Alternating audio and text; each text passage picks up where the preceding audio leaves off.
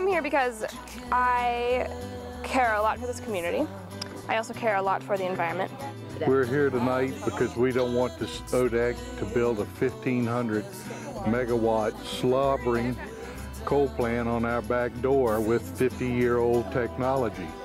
Tonight, the Dendron Town Council is going to be voting on whether or not um, the town of Dendron will be relinquishing their um, zoning rights to the County of Surry. It will be approximately 1,100 feet behind my house. Their property will border right onto the back of my lot.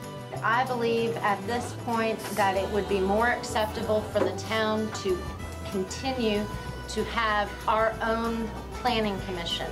All those in favor, raise your hand. Two, three, ayes have it. The motion is carried.